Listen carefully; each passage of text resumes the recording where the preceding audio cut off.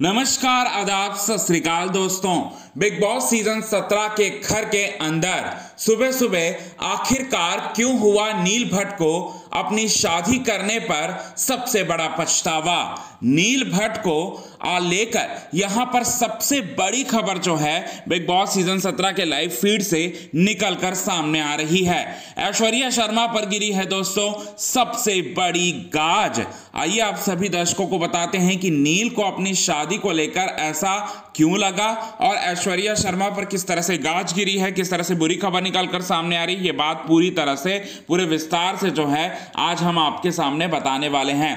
लेकिन इससे पहले, अगर अभी तक आपने हमारे YouTube channel Quick TV News को आपने सब्सक्राइब नहीं किया है दोस्तों तो सबसे पहले क्विक टीवी न्यूज़ को आप सब्सक्राइब कर लें बेल आइकन के घंटे को आपने नहीं दबाया है दोस्तों तो बेल आइकन के घंटे को आप ज़रूर दबा लें। नील को आखिरकार क्यों पछतावा हुआ?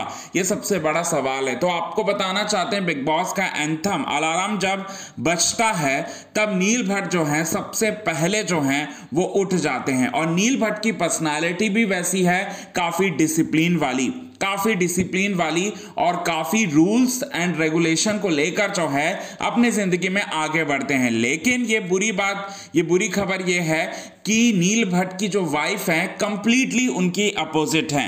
नील भट्ट अगर कुछ करते हैं तो उनकी वाइफ कुछ करती है। नील भट्ट को बिल्कुल भी नहीं समझते ऐश्वर्या शर्मा।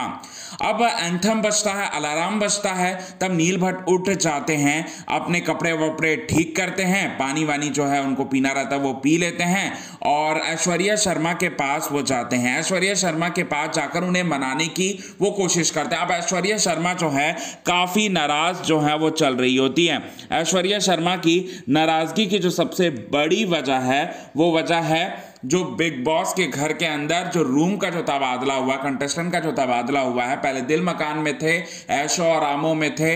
यहाँ पर आपको बताना चाहते हैं ऐश्वर्या, नील, अब वो दम मकान में जो है वो ट्रांसफ़र हो चुके हैं।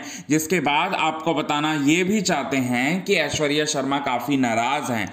नाराज़ इतनी है इतनी है कि ऐश्वर्या शर्मा को समझाने की लगातार जो है वो कोशिश कर रहे हैं। यहाँ पर कोई और नहीं, बल्कि नील भट्ट की ये एक गेम का प्रोसेस है। ये सब चीज़ें जो है वो होता ही रहेगा। लेकिन यहाँ पर ये सब चीज़ें होने की वजह से इनका जो रिएक्शन जो ऐश्वर्या पर फूटा है, वो रिएक्शन जो, ऐश्वर्या का रिएक्शन जो निकला है, वो नील भट्ट पर निकला है।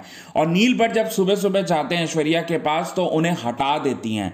हटा देती हैं, ना सिर्फ़ हटा देती हैं, बल्कि यहाँ पर पूरी तरह से गंदी तरीके से जो है, वो ट्रीट करने लगती है। इतनी गंदी तरीके से ट्रीट करने लगती है, इतनी गंदी तरीके से ट्रीट करने लगती है, जिसकी वजह से यहाँ पर पूरी तरह से यहाँ पर ऐश्वर्या शर्मा की वजह से नील भट्ट को यह एहसास होता है कि उन्होंने गलत इंसान से जो है वो शादी कर ली, जो कि उनको कभी समझ ही नहीं सकती, कभी भी समझ नहीं सकती। ये बात जो है, उनको लगा है, जो मतलब ये बात दिल में लगी है, पछतावा हुआ है। और ऐश्वर्या शर्मा से ये ये भी नील भट्ट भी जो है, दूरी बनाने के बारे में जो है, वो सोच रहे होते हैं। तो ये चीज़ें जो हैं, वो निकल कर सामने आ रही है बिग बॉस सीज़न सत्रह के घर के अंदर लाइव फ़ीड से। तो ये चीज़ें जो है, वो निकल कर सामने आ रही है। अब कितने ज़्यादा आप एक्साइटेड हैं, इसे लेकर आपका क्या है कहना?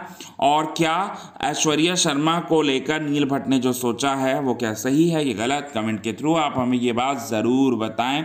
और साथ ही साथ, अगर अभी तक आपने हमारे YouTube channel Quick TV News को आपने सब्सक्राइब नहीं किया है दोस्तों तो सबसे पहले सब्सक्राइब करना ना भूलिए। बिल्कुल भी आज के खास रिपोर्ट में बस इतना ही दोस्तों। आज के खास रिपोर्ट में बस इतना ही। तब तक के लिए बने रहे हमारे यूट्यूब चैनल के साथ क्विक टीवी न्यूज़ की रिपोर्ट।